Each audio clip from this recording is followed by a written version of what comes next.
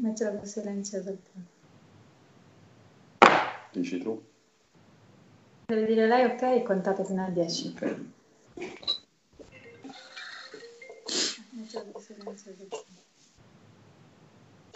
Dici tu? Deve dire lei ok contate fino a 10. Ok.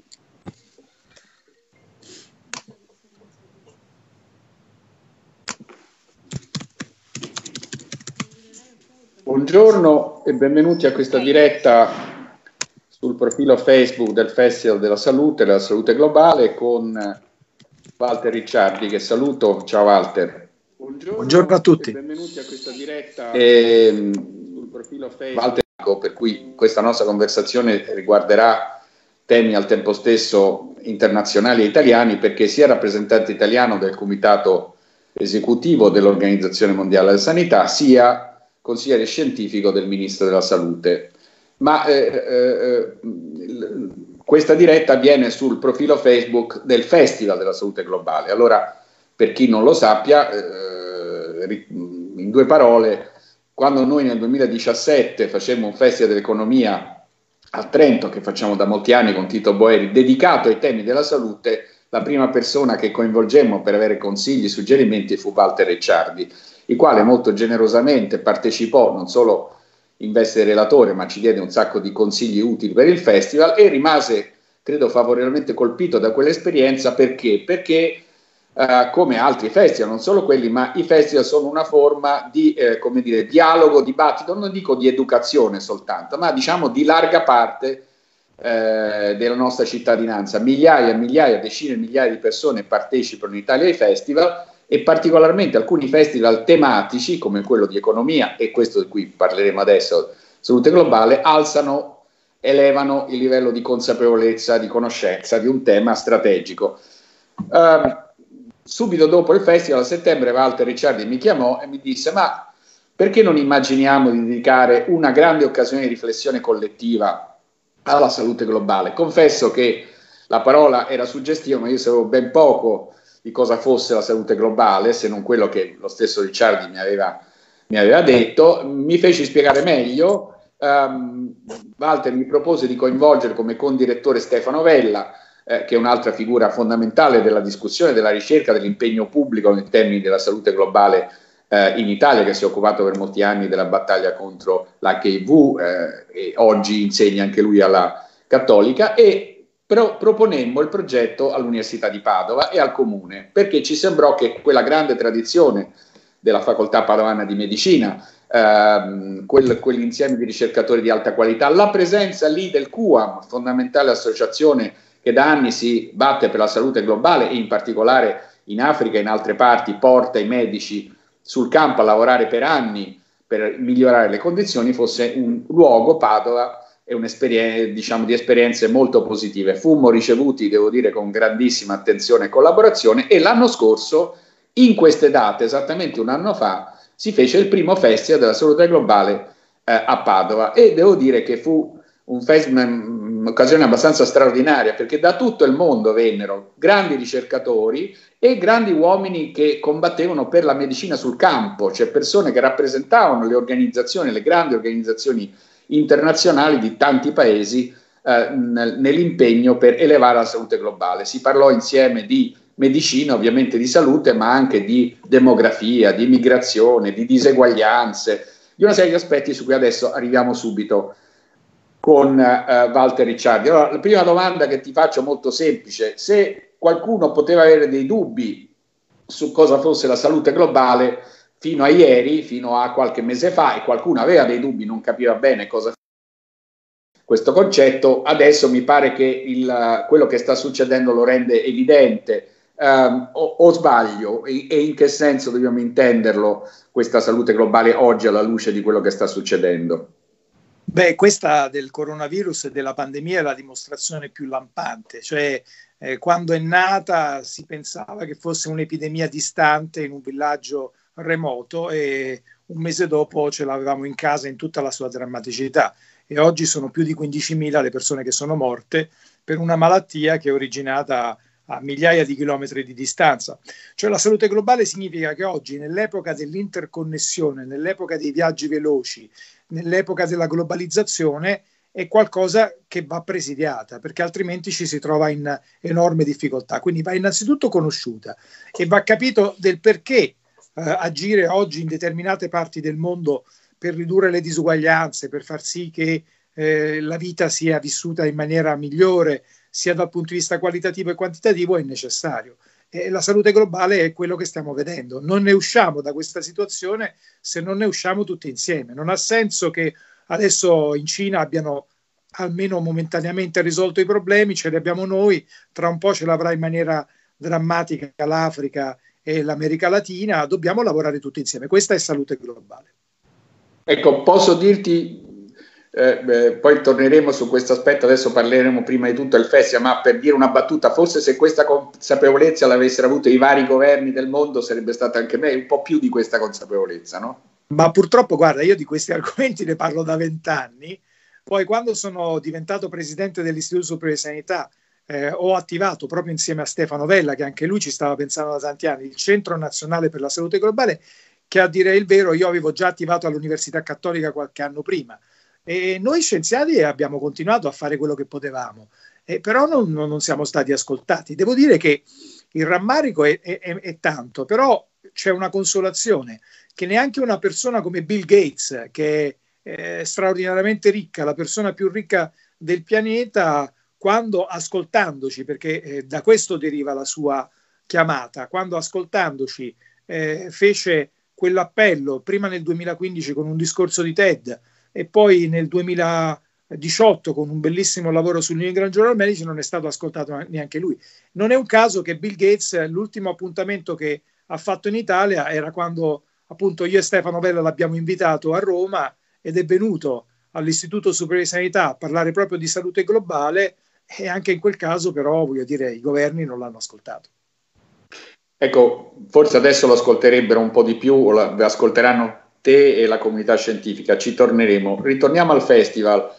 Il festival, ho detto, si sarebbe dovuto tenere in questi giorni, per ovvi motivi l'abbiamo spostato e ci sarà il 12 e 15 novembre, quindi la manifestazione si farà a Padova eh, in un'epoca in cui speriamo che le condizioni rendano eh, la rendono possibile. Ehm, abbiamo però pensato, insieme a te, insieme a Stefano, insieme all'università, al comune, al QAM e a tutti i nostri collaboratori, tra l'altro c'è un team di giovani collaboratori bravissimi che affianca Walter Ricciardi e Stefano Avella e che eh, collaborerà, a utilizzare questo tempo eh, aspettando, non aspettando semplicemente che il festival si svolga, ma coinvolgendo le tante persone che, che, che parteciperanno al festival già da adesso chiedendo a loro di dare un contributo già da adesso in maniera virtuale, diciamo in un, in un luogo come la pagina Facebook eh, del festival, eh, attraverso eh, contributi, interviste, documenti, interventi, co- anticipando già come dire, un percorso che a questo punto è reso ancora più importante da quello che è successo, una riflessione complessiva.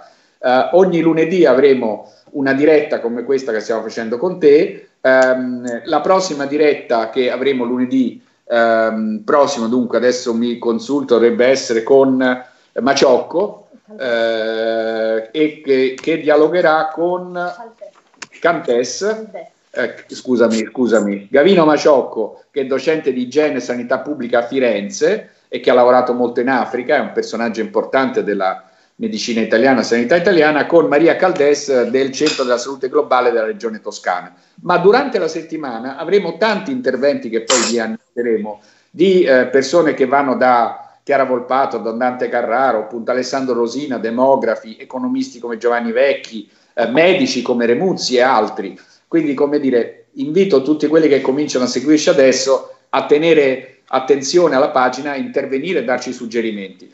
Eh, questa attività, eh, Walter, è, mh, credo, mossa anche dall'idea che una consapevolezza collettiva, eh, diciamo, di quello che sta succedendo sia fondamentale. Um, e questa è, è, la prima questione che ti, che ti pongo, e cioè eh, come si può, secondo te, ehm, affrontare questa situazione e, dal punto di vista proprio educativo, cioè ci sono delle strategie che possiamo mettere in atto da oggi in poi, nel tempo, per avere una migliore informazione, formazione delle persone nella scuola, all'università, attraverso i media, attraverso appunto i social. Cioè tu che sei sempre stato anche uomo di comunicazione perché sei sempre speso, ritieni che questa sia un'occasione da raccogliere anche su questo lato? Ma non c'è dubbio, d'altra parte noi l'avevamo già fatto, nel senso che l'anno scorso noi avevamo già dedicato diciamo, un incontro proprio alla, alla pandemia e, e, neanche a farlo apposta quando abbiamo programmato quello di quest'anno avevamo riproposto diciamo, questa riflessione eh, su, sulla pandemia.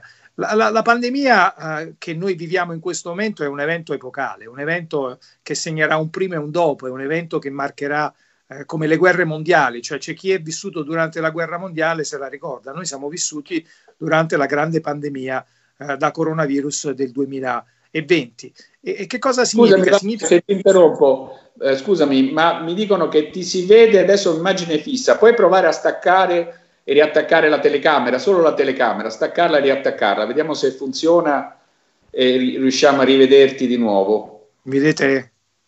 Eh, aspetta un attimo soltanto perché c'è un minimo di differita tra il tempo in cui tu fai una cosa e quando ti si vede, perché ti si sente benissimo, quindi senti, si è sentito tutto quello che hai detto, ma eh, in questo momento ti si vede in una specie di foto. Io ti vedo perfettamente, quindi per me sei... Anche eh, io, io, io, vi, io, ti sento e vi, e vi vedo. Ecco, adesso, adesso, adesso ti vediamo, adesso ti vediamo.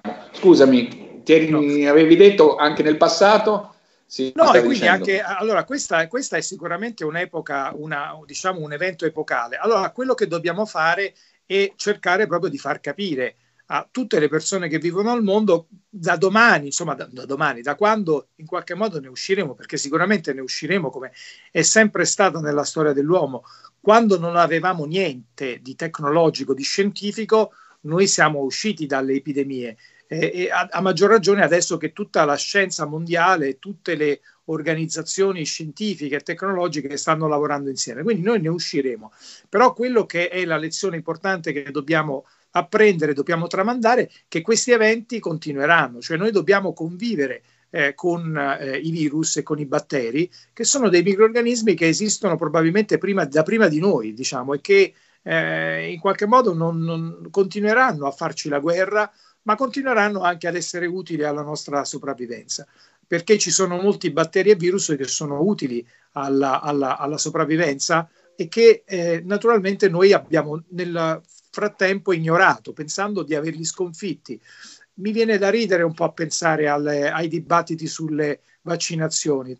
Eh, forse voi sapete che io sono stato uno dei principali paladini delle vaccinazioni e continuavo a sostenere che non c'era stata nessuna eradicazione se non del virus del vaiolo sulla faccia della Terra, ma tutti i virus, tutti i batteri che provocavano le malattie del, del Medioevo, le malattie della, della, diciamo della, dell'antichità, erano ancora tutti quanti viventi, non si vedevano perché avevamo un'immunità di gregge legata al vaccino, cioè noi avevamo uh, vaccinato 96, 97, 98% delle persone e questo impediva a questi germi di circolare.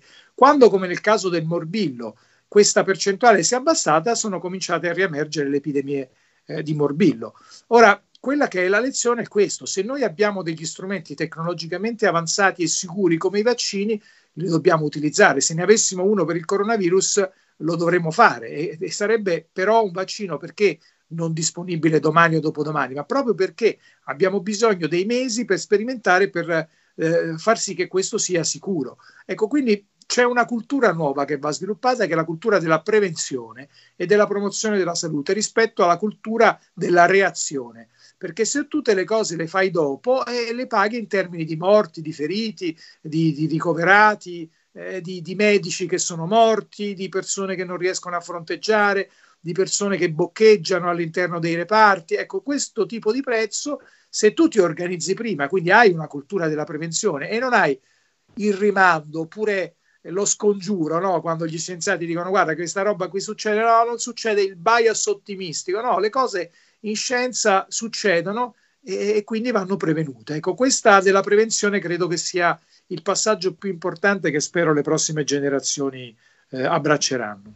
Mi sembra che hai detto una cosa molto importante. Di cui c'è un riflesso anche economico, se non sbaglio. Nel tuo libro, La battaglia per la salute, tu hai criticato, il libro è uscito un anno fa, quindi ben prima del... avevi criticato le politiche di razionalizzazione, chiamiamolo così, della spesa sanitaria che sono state fatte negli anni, anche perché quella razionalità non teneva in conto di imprevisti possibili, che tu, come appunto la comunità scientifica, avete abbondantemente, o anche quella deve essere una, una economia della prevenzione, chiamiamola così, o no? Ma non c'è dubbio, voglio dire, se tu innanzitutto tagli la salute e la sanità, diciamo sostanzialmente nel corso degli anni è stata una cosa abbastanza bipartisan, quindi io non voglio accusare l'uno o l'altro, ma normalmente eh, per quanto riguarda la salute e la sanità hanno fatto tutti un po' cassa, quindi sostanzialmente non ci sono stati investimenti importanti, abbiamo perso migliaia di operatori, medici, infermieri che non sono stati rimpiazzati quando sono andati in pensione, non abbiamo aggiornato il parco tecnologico, non abbiamo dato degli strumenti e anche degli incentivi ai nostri medici, in larga parte tantissimi giovani professionisti se ne sono andati all'estero. È chiaro quindi, faccio un esempio, adesso no, non lo voglio esasperare, ma se tu hai, perché si, si, dice perché la Germania ha una così bassa letalità, no? diciamo, tutto sommato ha tanti numeri, la popolazione è abbastanza simile alla nostra, alla nostra ma ha abbastanza bassa letalità. Ma io, i motivi sono tanti, ma, ma, sicuramente due ce ne sono. Il primo è che la Germania ha continuato a investire in sanità, cioè la, la Germania ha, ha, aveva alla partenza il quadruplo dei posti letto in terapia intensiva. Noi eravamo 5.000, la Germania 28.000. È chiaro che a un certo punto, anche quando sono aumentati i casi e i colleghi tedeschi hanno fatto tesoro delle nostre indicazioni e ne sono arrivati prima, loro non hanno avuto nessun problema, mentre invece quando tu hai ospedali in cui i pazienti, come in Italia e in Spagna, che sono due paesi che hanno tagliato sulla sanità, i pazienti addirittura lì li hanno messi per terra, noi sulle barelle, è chiaro che tu paghi un prezzo. Non, non so se mi spiego sulla, sulla, sul prezzo che si paga. Il prezzo sono morti, cioè sostanzialmente sono persone che non puoi curare, non puoi curare perché non hai la capacità. Ora la Germania è l'esempio più eclatante perché voglio dire ha, ha una capacità e una potenza di fuoco che ormai è quasi il doppio rispetto alla nostra. Però tu puoi anche in qualche modo anche con le nostre finanze pubbliche fare delle scelte. L'ultimo, il penultimo governo, quello che ha preceduto, poi secondo me è stato il massimo, perché il penultimo governo è quello che proprio non ha dato un euro in più a, a, alla sanità, non ha dato un euro in più alla ricerca e ha dato un sacco di euro al reddito di cittadinanza e a quota 100, cioè due cose che sostanzialmente quota 100 alcuni pensionati non se la possono godere perché sono morti, diciamo sostanzialmente, perché che significa che tu dai dei soldi in più o fai andare in pensione delle persone che poi non hanno servizi sanitari. E, e, e, il reddito di cittadinanza dai sostanzialmente dei soldi che invece potresti investire in delle cose che hanno dei ritorni. Per dire che fino a proprio al penultimo governo c'è stato questo tipo di continuità miope. Sì, eh, questo è un tema appunto molto forte, cioè la, noi siamo in una fase di globalizzazione molto spinta, no? in cui abbiamo, come ha detto Andrea Giardina in una delle dirette Instagram che noi facciamo ogni giorno, che chiamiamo Casa la Terza, in cui tu hai fatto una di queste, eh, siamo di fronte a un virus cosmopolita cui, la cui rapidità di diffusione appunto è accelerata dal fatto che ci spostiamo in continuazione. Dall'altra appunto abbiamo delle risposte miopi, perché magari obbediscono anche a una razionalità economica, ma di brevissimo periodo, cioè una razionalità che si misura in settimane o mesi, ma che non guarda al di là e prima o poi lo, lo si sconta. Questo è uno dei fattori, credo che nel Festival Salute abbiamo affrontato di più, perché ci sono fenomeni, enormi fenomeni mondiali che riguardano per esempio il tema delle diseguaglianze, Uh, nel combattere la pandemia, io credo che emergerà questo tema, emergerà nell'affrontarlo dal punto di vista sanitario, ma anche economico e sociale. Non tutti i paesi del mondo hanno gli stessi strumenti. Tu citavi perfino un paragone tra Germania e Italia, figuriamoci se pensiamo ad altri continenti, all'Africa, ad alcuni paesi del Sud America. Le diseguaglianze sono una parte importante, mi sembra, di questo ragionamento sulla salute globale.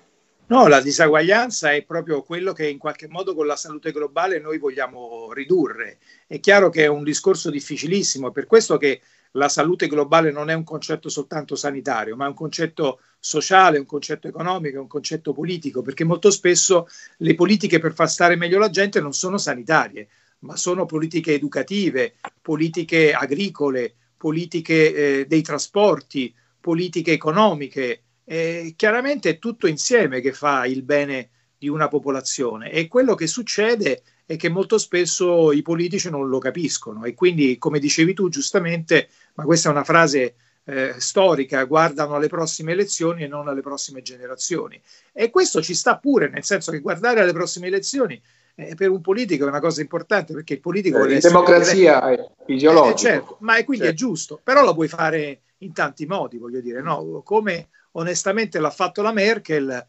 eh, devo dire che anche lì con il governo precedente c'era proprio una difficoltà di, di, di, di, voi sapete, forse sapete che io mi sono dimesso da, dalla presidenza dell'Istituto Superiore di Sanità perché proprio non si riusciva a parlare di scienza, nel senso che eh, era impossibile parlare di argomenti scientifici con gente che eh, diceva che i vaccini erano troppo inutili, pericolosi, diceva che a proposito di disuguaglianze che i migranti erano la causa della, delle malattie in Italia, che portavano le malattie in Italia, eh, oppure che, che, ne so, che gli inceneritori sono la, la, la la, causa di tutti i mali, cioè che noi sostanzialmente i rifiuti li dobbiamo così far sparire senza, senza che vengano trattati adeguatamente. Insomma, quando tu hai degli interlocutori di questo tipo è difficile, lo, lo, capite, quando è chiaro che tu hai degli interlocutori, dei politici che naturalmente devono decidere loro, perché loro sono democraticamente eletti, però ascolta. Ti volevo fare una domanda su questo, Walter. Credo che tu sei una delle persone che veramente può rispondere a questo tema. Si è detto molto spesso in questi giorni finalmente le competenze al centro. Dopodiché io credo che alcune scelte sono politiche, voglio dire, fissare una data, la data che è stata per il momento fissata mi pare al 13 aprile, spostarla avanti, decidere quali, quali possono riaprire, è una scelta basata su conoscenze ma anche politica. E, e qual, è questo, qual è il giusto rapporto? che eh, ci deve essere tra la competenza e le scelte politiche, secondo, secondo il tuo punto di vista? Eh, niente, bisogna che la politica è quella che fa le, l'ultima scelta, la decisione diciamo, definitiva. Eh, gli scienziati devono mettere a disposizione le proprie conoscenze al meglio delle loro possibilità e, e poi devono essere molto espliciti, devono, essere, devono dire la verità al potere. Ecco, molto spesso qualche scienziato si autocensura e non lo fa, mentre invece bisogna sempre dire la verità. È chiaro che poi la decisione deve essere politica, altrimenti eh, ha ragione chi dice allora sei uno scienziato candidati, no, io non mi voglio candidare, io voglio dire, voglio fare il mio lavoro, te lo dico, poi la responsabilità. Ma sai quante volte mi è capitato anche recentemente di, di dire questa frase, diciamo sostanzialmente, io ti dico quello che secondo me è l'evidenza scientifica, poi tu fai quello che vuoi. Normalmente però, come si sta vedendo, quando i politici non ascoltano gli scienziati, eh, dei, dei, dei, creano dei problemi enormi. Certo. Insomma, creano dei problemi enormi. Aggiungo una cosa, eh, alcune grandi scelte in democrazia, eh, secondo me, si possono fare anche in pubblico. Cioè non è vero che la democrazia è soltanto un, un luogo cui, riservato, appartato, in cui i competenti politici elaborano e poi comunicano al popolo. Uh, qui ci sono delle scelte che andranno fatte nei, nei, prossimi mesi, perché tutti siamo consapevoli, credo, dei rischi che questo virus comporta, che sono rischi forti in relazione alla sua ancora in buona parte inconoscibilità, al fatto che non sappiamo bene tutto. Però ci sono dei fortissimi rischi economici e sociali, ci sono uh, rischi di aumento fortissimo della povertà, che ci siano morti anche in quel, per quella strada, non necessariamente si muore solo di virus. Ecco, queste sono scelte etiche oltre che politiche, che non può fare lo scienziato di per sé, o, o sbaglio? No, no, sono totalmente d'accordo, ma devo dire da parte degli scienziati di tutti i settori c'è stata una grande disponibilità a fare questo oggi. Io proprio anche stamattina ho parlato con un gruppo di colleghi che si vuole mettere al servizio di questo tipo di dibattito, anche pubblicamente. Insomma, la cosa importante che dovrebbe fare la politica è selezionare gli scienziati più, come posso dire, affidabili e questo è, abbastanza facile farlo cioè tu sostanzialmente,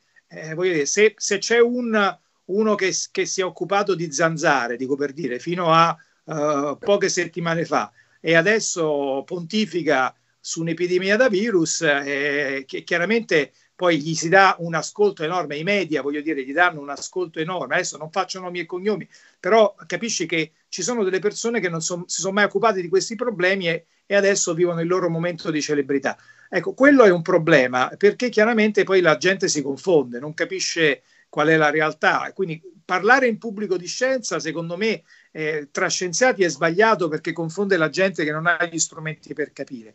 Però dire sostanzialmente le ragioni di una, di una scelta, di una decisione, del perché si fa in questo modo, eh, secondo me hai ragione tu, è assolutamente giusto.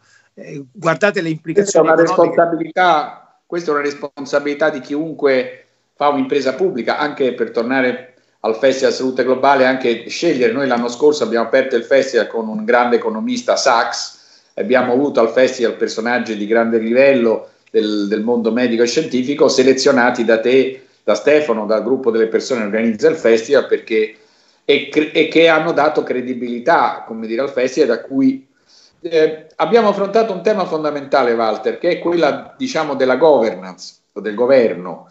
Uh, è un tema che si pone per l'Italia, nella, uh, e su questo vorrei almeno una parola tu dicessi, nel rapporto tra Stato centrale e regioni, che in questi giorni, in queste settimane, ha avuto qualche sco- disconnessione, ma anche a livello mondiale. Uh, L'Organizzazione Mondiale della Sanità dovrebbe avere, secondo te, in circostanze di crisi, in emergenza, un potere maggiore? Ma guarda, eh, l'Organizzazione Mondiale della Sanità, eh, io sono due anni che sono nel comitato esecutivo attraverso il suo nuovo direttore che è eh, un, il, per la prima volta nella storia dell'Organizzazione Mondiale della Sanità un africano, quindi un medico africano che però è anche un politico africano, lo ha cercato, l'ha cercato questo tipo di, eh, di legittimazione, ma non gliel'hanno data, i Paesi membri non gliel'hanno data, non gli hanno dato né la legittimazione né i soldi, perché ricordiamoci che a tutt'oggi ci sono, l'OMS è sottofinanziato, ormai sono quasi più i soldi che prende da persone come Bill Gates, voglio dire, eh, l'OMS piuttosto che da, dai governi. Adesso esagero, però per farvi capire quanto, eh, voglio dire, eh, Bill Gates da solo finanzia molto di più di tanti Paesi membri. Quindi non, non, non, sono gli Stati membri che poi alla fine danno o non danno questo tipo di legittimità. Sicuramente se guardiamo la, all'Europa, la Commissione europea uh, dovrebbe avere di più, ma anche lì eh, gli, gli, deve essere concessa dai Paesi membri attraverso dei trattati che in questo momento non ce l'ha. E per ecco, quanto riguarda... non potrebbe essere un'iniziativa, scusami se ti interrompo, un'iniziativa che nei futuri mesi la comunità scientifica chieda ai governi, cioè di dare all'OMS maggiore potere, maggiori finanziamenti?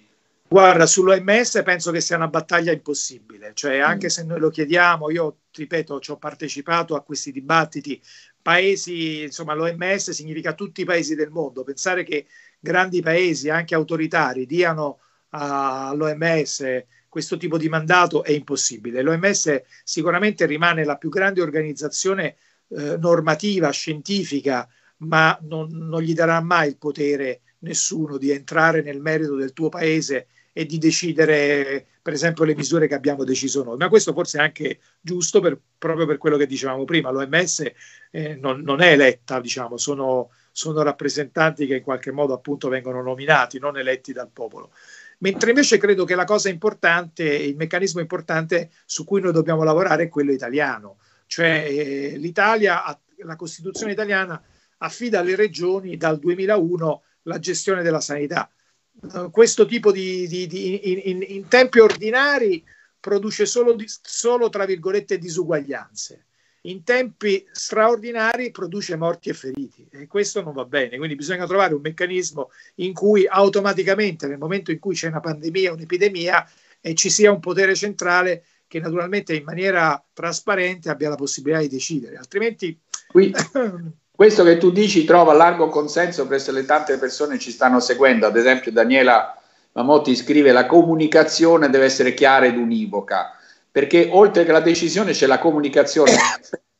pensa a quello che è successo, ma dico lo sai meglio di me, ma è sconcertante sulle mascherine, cioè quando tu senti che un governatore dice tutti in, in giro con le mascherine e poi il, il Borrelli che dice io non la metto perché se siamo distanziati non c'è bisogno. Allora, almeno nella, almeno nella comunicazione bisognerebbe avere un coordinamento. No? Cioè, credo ma che... non c'è dubbio, ma non c'è dubbio. Ma no, eh, guarda, in epidemia bisogna avere un coordinamento sia nella decisione che nella comunicazione, perché se a un certo punto vi ricordate la chiusura delle zone rosse, se il comitato tecnico scientifico non avesse insistito, voglio dire, ci sarebbero probabilmente molti più morti e feriti. Quindi voglio dire, la comunicazione deve essere unica. Eh, scusate, la decisione de- deve essere in epidemia come in una guerra, cioè tu non puoi avere un generale e poi e gli ufficiali si mettono a discutere, no io farei così, farei così, tu lì usa il bazooka, no io uso la, l'arma bianca, e anche la comunicazione, perché la comunicazione è parte integrante. E quindi le mascherine, i tamponi, poi ormai erano, erano divent- sono diventati tutti degli esperti, voglio dire, io ho delle persone che in continuazione mi dicono ma la mascherina va usata per questo, va usata per questo, eh, il tampone va fatto così, ha fatto una giravolta. No, noi abbiamo sempre sostenuto l'evidenza scientifica. È chiaro che poi sono le decisioni politiche che in qualche modo sono a volte in ritardo e, come giustamente diceva Daniele, a volte confuse nella comunicazione. Sì, io credo che da questo punto di vista ci vuole anche senso di responsabilità. Io credo che moltissimi italiani lo hanno dimostrato e forse questa, questa vicenda aiuterà il paese, perché se, come credo tu sei d'accordo, qui il meccanismo fondamentale è quello della fiducia in noi stessi, no? All'inizio di questa vicenda l'atteggiamento era molto di dire no, ma gli italiani non seguiranno le regole, ma ci sono un sacco di gente che evade, che si comporta male. Beh, io credo che stiamo facendo vedere tutti che la grandissima, la grandissima parte di noi segue le regole, che le condivida in toto o meno, ma le segue.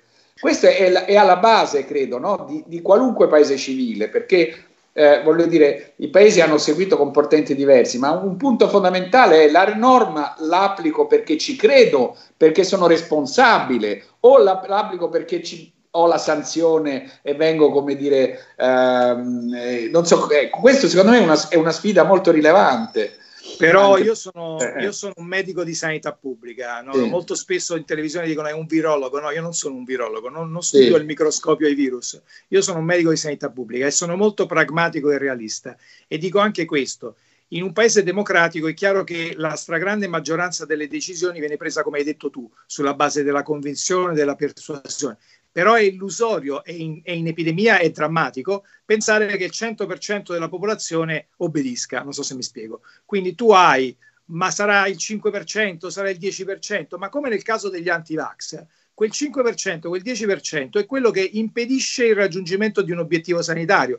E quindi a quelli lì li devi obbligare, non puoi sostanzialmente basare, quindi perché quelli lì, quel 5%, quel 10%, eh, eh, non fa raggiungere l'obiettivo e oltretutto vanifica i sacrifici dell'altro 90%. Quindi sostanzialmente tu hai bisogno di due strumenti combinati, quello dell'informazione, della persuasione, dell'educazione, della promozione, che come stiamo vedendo coinvolge ormai il 90% della popolazione ma quel 10% però deve avere degli strumenti coercitivi, perché tu non puoi avere il, l'incosciente, il pazzo che come è, stato preso è infetto, è contagioso e va in mezzo alla strada a fare la spesa consapevolmente. Tu quello lì lo devi prendere e lo devi mettere in galera perché è una, è, eh sì. c'è nel codice pubblico un attentato alla nostra, alla nostra sicurezza personale. Sono Walter, sono d'accordo con te, ma partendo dal, dall'idea che io ho fiducia nei cittadini.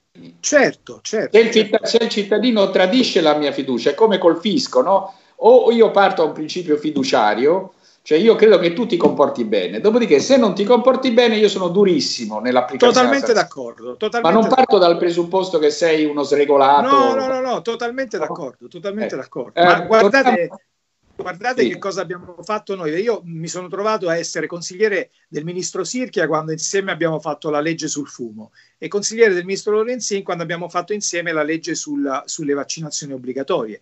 Sono entrambe leggi che nascono da un obbligo, no? quello di non fumare in luoghi pubblici e quello di fare le vaccinazioni, ma che la stragrande maggioranza della popolazione poi ha seguito per convinzione, per, per fiducia. Però nello stesso tempo ha evitato, nel caso del fumo, al maleducato, prepotente e arrogante di fumare in un luogo pubblico e di danneggiare gli altri e ha evitato di, delle persone ignoranti di non vaccinare, soprattutto noi l'abbiamo protetto i bambini, i propri figli, esponendo poi anche i figli degli altri, soprattutto quelli che non si potevano vaccinare, a, a, diciamo, a, a malattie terribili come stiamo vedendo. Io torno al festival, intanto devo dire che saluto, noi siamo in questo momento in condivisione la diretta Facebook col comune di Padova, saluto Sergio Giordani, il sindaco che devo dire ha creduto in questa impresa del festival fin dall'inizio e, e tutti i suoi collaboratori eh, e saluto anche gli amici dell'università, Rosario Rizzuto, Mario Plebani, Annalisa Obo e tutti quelli che si sono spesi per dare la possibilità di realizzare il festival. Tra l'altro è in una città meravigliosa come Padova, dove come dire, anche la qualità della vita eh, speriamo ritorni quando sarà appena possibile, diciamo, accogliente come è stata per il festival. Poi saluto Don Dante Carraro e tutti i suoi collaboratori perché il QAM, come tutte le altre ONG, ma particolarmente il QAM, dà questo senso della salute globale, nel senso che la, la, portare i medici italiani in Africa e poi farli tornare in Italia e farli essere agenti di diffusione di questo sapere, di questa conoscenza, di questa consapevolezza è fondamentale. I ragazzi del QAM l'anno scorso hanno fatto un lavoro straordinario, volontari eh, nel, nel, festival. Diciamo, mh, mm, il, il, ci avviamo alla conclusione di questa nostra chiacchierata. Um, il, il senso, credo, di interdipendenza da tutti nel mondo è fondamentale e io voglio dire, faccio una domanda appunto un ricercatore, uno scienziato, ma anche un perso- personaggio pubblico. Bisogna sperare e possiamo sperare che questo senso di interdipendenza ci porti, di consapevolezza dell'interdipendenza, ci porti a rafforzare le collaborazioni piuttosto che i conflitti e le competizioni, come tutti noi, voglio dire, poi possiamo essere un po' più ottimisti che pessimisti, come in tutte le guerre, anche questa naturalmente potrà portare alcuni a incattivirsi, agli egoismi nazionali, alle barriere, ma possiamo pensare che c'è una spinta forte che nasce dalla consapevolezza anche nell'altro senso di solidarietà. No, io sono assolutamente ottimista sotto questo punto di vista, credo che veramente sarà un passaggio che ci migliorerà. Naturalmente però bisogna essere molto attenti adesso alla parte, oltre che alla parte sanitaria, alla parte economica, cioè in questa è una, è una, è una situazione che veramente impoverirà profondamente eh, il paese, non solo il nostro, anche altri. Quindi c'è bisogno di dare un forte sostegno alle persone che nel momento in cui si eh, finirà questa epidemia eh, saranno, saranno, in qualche modo più povere perché molte aziende chiuderanno o, o, saranno ridimensionate, quindi bisogna fare un grande sforzo e a maggior ragione il concetto di interdipendenza e di collaborazione sarà importante. Cioè noi dovremo, ma questo lo facciamo da sempre, gli scienziati non hanno confini, noi lavoriamo da sempre insieme, non abbiamo mai avuto remore anche quando i governi di alcuni paesi si facevano, non dico la guerra, ma in certi casi anche proprio la guerra. Cioè, io penso a del, dei lavori che ho fatto in, in, in, Israele e nei territori occupati, insomma tra israeliani e palestinesi c'è sempre stata tra scienziati e medici una collaborazione anche quando i loro eserciti o comunque le loro genti si sparavano. E adesso questo è necessario che lo facciano anche altri, non soltanto gli scienziati, ma lo facciano anche altri decisori. E io, sono, io però sono, sono molto ottimista su questo. Posso dire con una battuta che una delle forze della comunità scientifica è che l'autorevolezza non si misura della quantità di click che lo scienziato ha del suo, eh, o la quantità, la audience che fa, magari non avrà necessariamente grande audience pubblica, ma non per questo, perché questa è una delle forze, la comunità scientifica, come dire, eh, sanziona la reputazione o avvalora le tesi in uno spirito anche autocritico, giusto? Di, di verifica continua, reciproca. Ma io penso che gli scienziati hanno un patrimonio importantissimo, ma quello principale è la reputazione. Diciamo. Quando loro eh, diciamo, o mentono o smentiscono le verità scientifiche o fanno altre cose, allora si espongono a perdere quello che è il patrimonio più importante. Quindi io penso che lo scienziato debba essere una persona che dice sempre la verità a tutti, al potere in primis, ma anche ai cittadini, magari a volte può dover non dire tutta la verità, perché in certi casi ci possono essere delle verità che soprattutto quando non sono ancora perfezionate dal punto di vista scientifico è meglio ritardare fino a quando non si hanno certezze. Però io penso che questo sia la grande, la grande forza della scienza, cioè quella di mettersi sempre in discussione eh, a partire da se stessi, però nello stesso tempo dire sempre la verità, innanzitutto al potere, ma poi soprattutto ai cittadini. Se questo ti può confortare, ma lo sai benissimo, questo lo diceva anche Benedetto Croce, cioè anche una casa editrice come la nostra che dal punto di vista dei giudizi di Croce sulla scienza non, bri- non brilla molto, non brillava molto, però la nostra cultura, la cultura, la migliore cultura filosofica del pensiero umanistico dice esattamente questo, cioè si cresce attraverso il dubbio metodico, non il dubbio sempre e comunque su quante cose, non bisogna scadere nel cinismo, nel relativismo assoluto, ma bisogna avere la capacità di rimettersi in questione metodicamente, seriamente, sulla base delle, evidenze. E questo credo che sia un messaggio fondamentale eh, torno al festival, che bisogna fare, ripeto, in pubblico. Non bisogna avere paura del fatto che qualcuno possa smentirti, che ti possa criticare, bisogna avere la forza e la capacità di distinguere tra le critiche sbagliate, superficiali, eh, strumentali e quelle che invece ti, ti, aiutano a migliorare. E un buono scienziato, come io credo anche un buon filosofo, un buono storico, si distingue anche in questo, giusto? E il festival sono luoghi in cui si fa di fronte alle persone, con le persone, no? A Padova c'erano tanti studenti, giovani, persone che, si, che fermavano i relatori alla fine dell'incontro e gli facevano delle domande, magari gli facevano anche delle obiezioni e magari quel signore poi cambiava idea. No? Credo che questa sia la forza, diciamo, tra virgolette, democratica di una manifestazione del genere. Assolutamente, speriamo di poter ritornare presto a farla perché proprio questo era l'obiettivo del festival, cioè ragionare con le persone di argomenti anche abbastanza complessi e a me ha colpito moltissimo che alcuni argomenti erano veramente complessi, diciamo, da spiegare e c'erano tantissime persone, quindi non soltanto magari te lo puoi aspettare professori e studenti, ma anche persone semplici, cioè persone che volevano capire e parlare di sistemi sanitari una mattina, non me lo posso mai dimenticare, con un auditorium pieno, proprio con Gavino Maciocco e Natascia Muscat che parlavano di come i sistemi sanitari, lo stiamo vivendo in questi giorni, quello che ci sta salvando è il Servizio Sanitario Nazionale, eh, però per capire perché ci sta salvando deve avere un sostegno e la popolazione lo deve sostenere. Eh, quando noi abbiamo fatto delle cose nel passato ci dicevano che erano troppo tecniche, no, erano tecniche ma riguardavano la vita. Se tu non hai un sistema sanitario forte che traduce in pratica eh, le scoperte scientifiche, i farmaci, i vaccini, allora, eh, ma questo è molto importante spiegarlo alle persone in, mano, in, maniera semplice, in maniera che lo capiscano. E questo è proprio l'obiettivo del Festival della, della Salute Globale di Padova. Sai che una, un grande personaggio che anche tu hai conosciuto, che è stato fondamentale per la casa editrice, cioè Tullio De Mauro, scrisse un giorno che la parola è fatta per essere detta ma soprattutto ascoltata. Non a caso il buon Dio ci ha dato una bocca ma due orecchie, diceva De Mauro. Ma e... gu- guarda, ti dico, per me De Mauro è stato non soltanto quel grandissimo studioso ma anche un, un maestro, perché questo l'ho raccontato anche al presidente Mattarella e qualche volta in altre circostanze. Eh, una volta eravamo, io ero un giovane ricercatore, ma eravamo insieme in una commissione di concorso alla Sapienza. Io ero alla Sapienza, lui era alla Sapienza. A un certo punto, a margine di questa conversazione, lui mi dice: Ah, lei si occupa di epidemiologia, bene, sa che io sto lavorando all'analfabetismo funzionale. E io dico, professore, che cos'è l'analfabetismo funzionale? Ma stiamo parlando, voglio dire, probabilmente di 30 anni fa. Allora mi dice, guarda, l'alfabetismo funzionale, io sono un linguista, è quello per cui una persona non è analfabeta, sa leggere e scrivere, però quando legge un testo non capisce quello che sta scritto in questo testo e naturalmente analfabeta se non capisce un testo di media-bassa complessità, perché è chiaro che se tu leggi un testo complesso eh, sei autorizzato, ma eh. quando non legge, allora dice, ah, ho capito adesso che cosa fare. E poi mi fa, ma lei sa quanti italiani sono analfabeti funzionali? Stava parlando di 30 anni fa.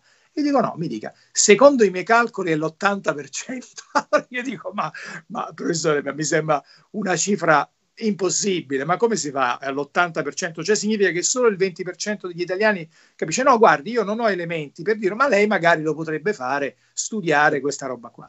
Io non l'ho mai fatto, però l'ha fatto la Commissione europea e le hanno fatte altre strutture. E beh, voi sapete che i, i, i, calcoli anche recenti sono molto vicini. Poi l'analfabetismo funzionale è stato scamposto in analfabetismo letterale, analfabetismo matematico, analfabetismo scientifico e analfabetismo, chiamiamolo, operativo.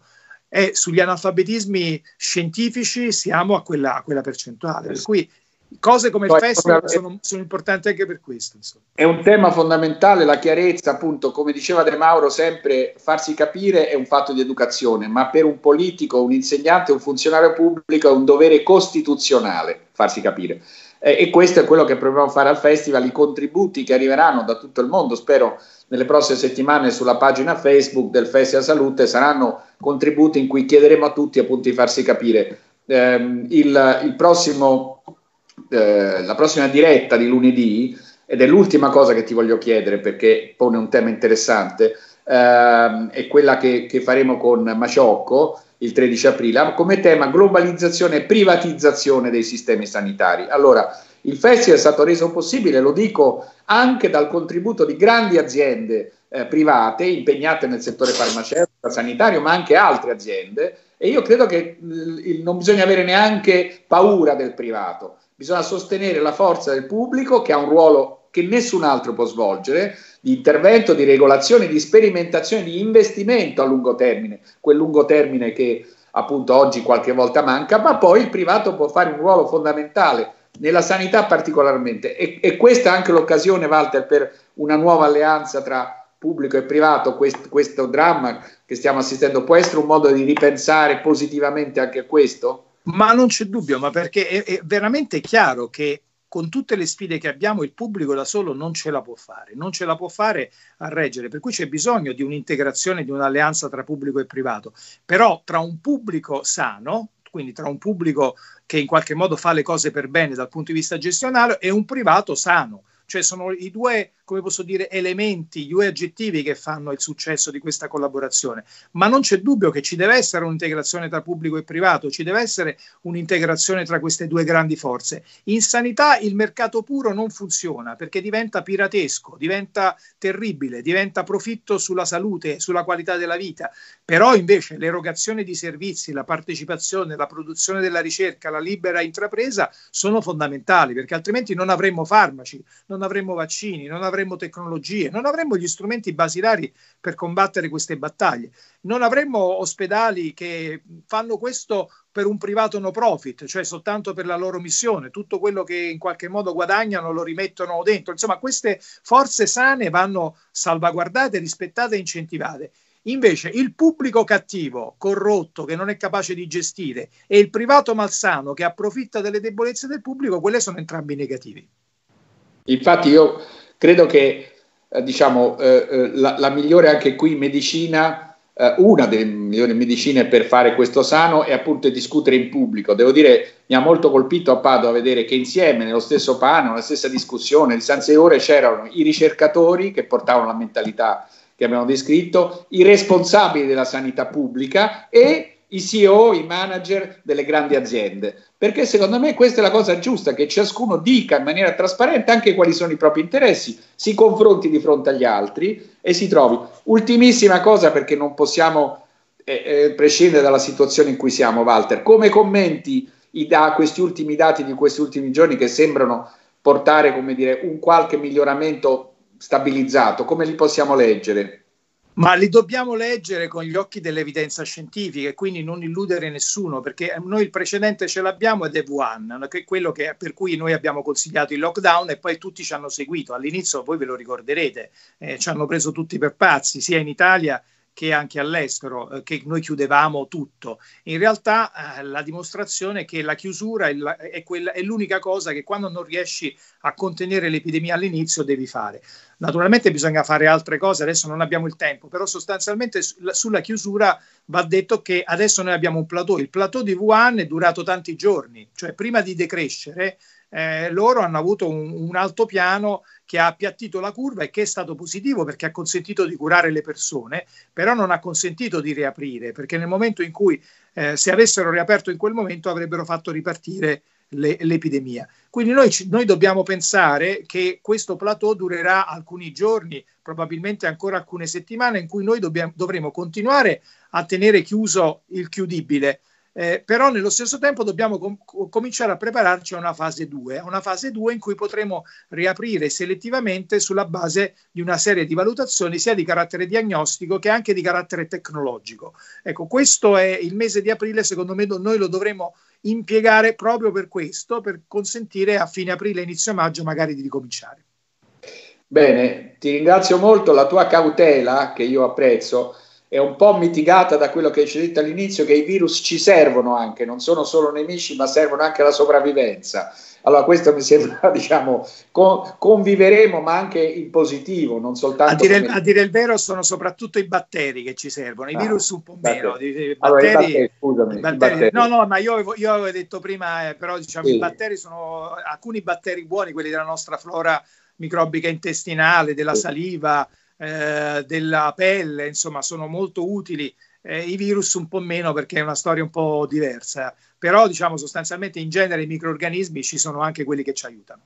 Allora diciamo che il virus non ci serve dal punto di vista medico e sanitario, ma può darci alcuni insegnamenti su come comportarci meglio, singolarmente ma anche collettivamente. Tu ce ne hai indicati molti in questa conversazione in cui ti ringrazio, altri ce ne indicheranno i nostri relatori del Festival Salute Globale, eh, ce li indicherà Stefano Vella che sarà parte protagonista, ce li indicheranno l'Università di Padova i tanti ricercatori, il QAM, gli amici del comune, è un'impresa collettiva, appunto, è un festival della salute che si fa con tante persone che ringrazio, non le posso citare tutti.